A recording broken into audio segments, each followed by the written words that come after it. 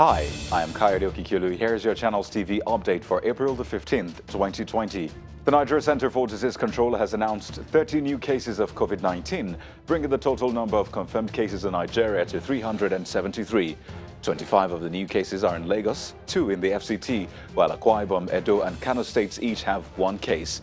A total of 99 patients have been discharged, while 11 deaths have been recorded.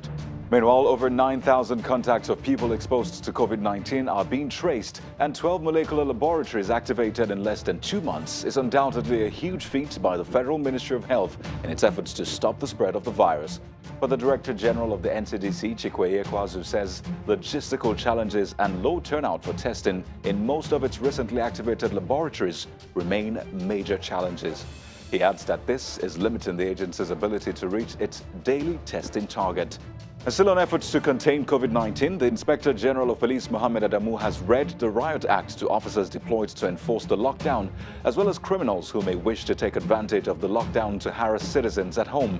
The police chief insists that officers deployed to enforce the lockdown must carry out their duties professionally. And in Lagos, the state government says it is discharging nine more patients who have recovered from COVID-19, bringing the total number of discharged patients in the state to 70. Governor Babajide Sanwo-Olu, announced this at a briefing, adds that the state government has also embarked on community contact tracing. The state has, however, recorded another death from coronavirus at one of its isolation centers, making it a total of six fatalities.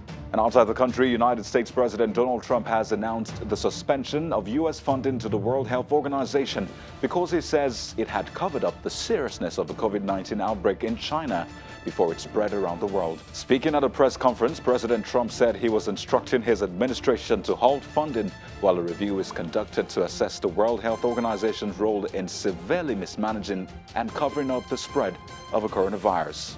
And that's the news updates. Don't forget to join us later for the evening recap. I am Kayode Okikiolu.